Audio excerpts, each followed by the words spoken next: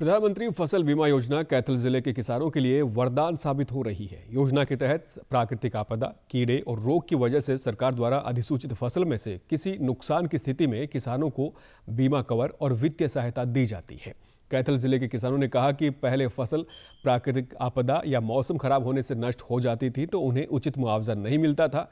किसानों ने कहा कि प्रधानमंत्री नरेंद्र मोदी ने किसानों के हितों के लिए प्रधानमंत्री फ़सल बीमा योजना चलाई है, जिससे किसानों को बहुत ही राहत मिली है। अब किसान फ़सल खराब होने पर भी अपने आप को सुरक्षित मानने लगे हैं।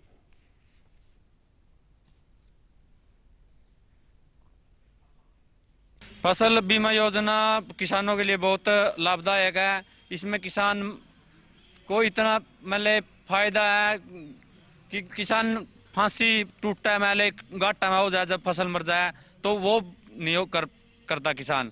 क्यों? आगे के लिए जो उसने फ़सल बोनी है, उसके लिए कर्जा मिल जाता है। प्रधानमंत्री जी का तय दिल से धन्यवाद करता हूँ, क्योंकि ये जो फ़सल बीमा योजना शुरू की है, ये पहले किसी सरकार ने नहीं शुरू करी थी।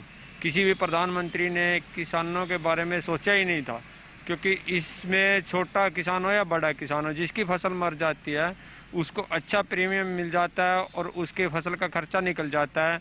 और मान के चलो कि किसान की फ़सल मर गई तो उसके पास रहे ही कुछ नहीं। उसका बेनिफिट यही है कि फ़सल बीमा की योजना के तहत उसको खर्चा मिल जाता है। राज्य सरकार में किसान को सहयोग मिल रहा है, मुआवजा मिल रहा है, आत्महत्या कम हो रही है, पहले ज़्यादा करते थे।